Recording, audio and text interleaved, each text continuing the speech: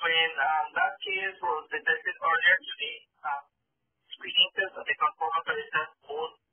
came out positive for SARS-CoV-2. It's uh, in a uh, male who came off the cruise ship um, somewhere during two weeks